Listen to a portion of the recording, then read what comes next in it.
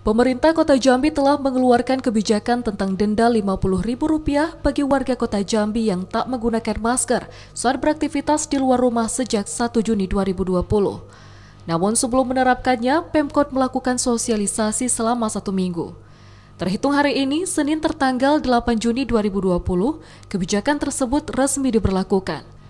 Kebijakan yang dituangkan dalam Peraturan Wali Kota Nomor 21 Tahun 2020 tentang relaksasi ekonomi dan sosial kemasyarakatan ini juga berlaku bagi warga luar yang masuk Kota Jambi. Wali Kota Syarif Fasya minta warga agar patuh dan melaksanakan kebijakan ini. Pasalnya Pemkot telah menyosialisasikan selama satu minggu.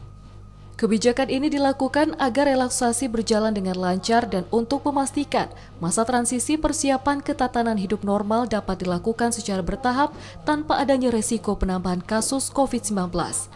Fasa juga menyebutkan sebelumnya tidak hanya sosialisasi yang dilakukan, tapi Pemkot juga telah membagikan masker kepada masyarakat secara gratis, sehingga tidak ada lagi alasan untuk tidak menggunakan masker saat beraktivitas di luar rumah. Mulai hari ini, ratusan petugas gabungan TNI Polri, Pol PP, dan Dinas Perhubungan diterjunkan di beberapa kawasan untuk memastikan kebijakan ini dipatuhi masyarakat. Andri Wijaya, TVRI Jambi melaporkan.